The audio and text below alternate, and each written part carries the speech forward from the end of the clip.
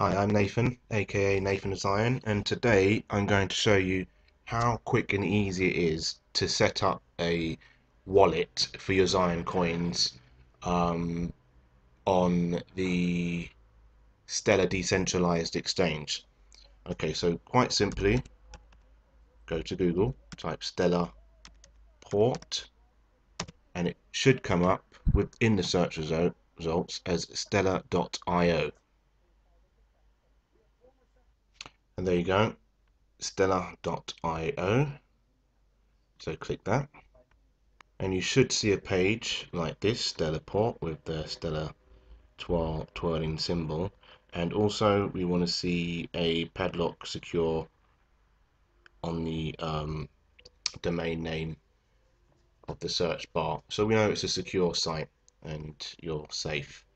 Now to set up your wallet quite simply you can sign up. Um, you can watch the video to find out a little bit more from here. Okay, which is quite good. I recommend if you watch it if you haven't seen video. it for the first time. All right, or you're probably wondering. Just go straight into sign up, and that will take you to essentially the Stellar Exchange. And there we go. So this is where your wallet will be based on the Stellar Exchange. And to visit the exchange, you just click on the exchange, new wallet, here we are. So we, what we want to do is generate a set of keys. So you're going to have a public set of keys which you will display in which will be displayed for the public which you'll be using to receive funds and you will have a secret set of keys which you will use to log in with okay so we're going to select generate new key pair. Hit next. Hit generate. And what we want to do is copy and paste this into something like a text file. Okay. So firstly, we want to see what the secret key is. There we go. That's our secret key. So we copy and paste. So copy first. And then generate, get our text uh, notepad text file up. Now you can use this as as like a secure wallet if you've got a password on it. It's not the best. The best thing to do is to have a Nano Ledger hard wallet where you can um, add uh, Stellar a Stellar wallet where you can store your Zion coins. But for now, just to get started, we'll use this. Okay, so now we've generated our key pair. All right, we're going to log in. So login is up here. Just get it in the screen you.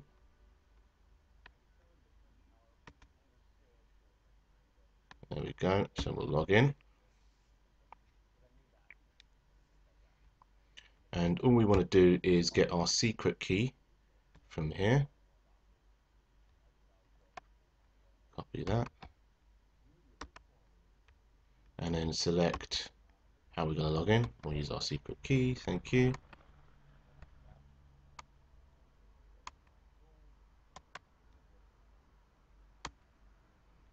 And login.